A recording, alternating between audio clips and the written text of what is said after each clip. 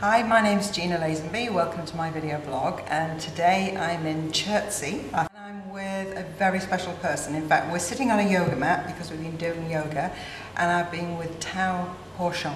Tao, Yes. thank you so much for that fantastic yoga session. I feel, I feel great.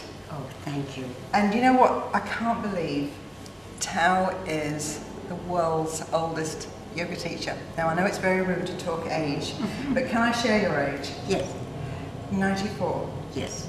94 and doing yoga. Not even doing yoga, but teaching yoga. I mean, that's amazing. So, because you are this wonderful, flexible, elegant, beautiful, graceful yoga teacher, and you're 94, you must have some secrets to share for us girls getting a little bit older about what we can do to be so flexible and agile and full of life at your age. When people aren't as full of life decades younger. I think um, most important is learning how to breathe properly. Yeah. Breathe is the life force, but it's also the creator inside of us. And if you're in touch with that power, then you're in touch with all the good things in, in the world because it never lets you down. So I'm not, I don't believe in allowing fear to come into my life. I start every morning knowing that it's going to be the best day um, that I've ever had, and um, I expect it to happen, and it does.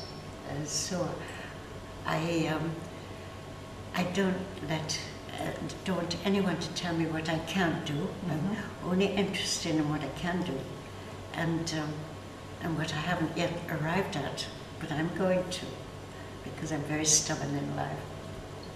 I take this journey very seriously, but um, not serious in the way of holding tight like that, but to to feel that there is a wonderful um, beauty within me, and it can express itself.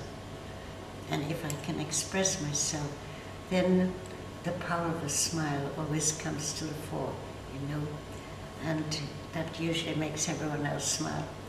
So I have a lot to learn, and I'm on the same, I'm on this ladder, and I haven't arrived yet. Mm. Well, that's simple. Breathing, that's simple. We forget, don't we?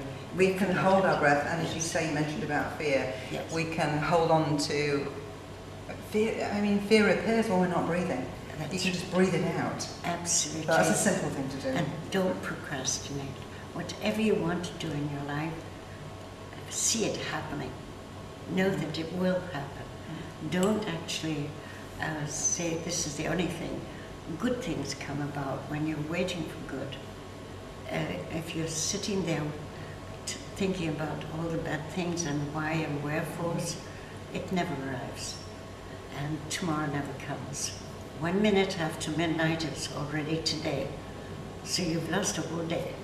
So do it right now and it, and it, it comes out well.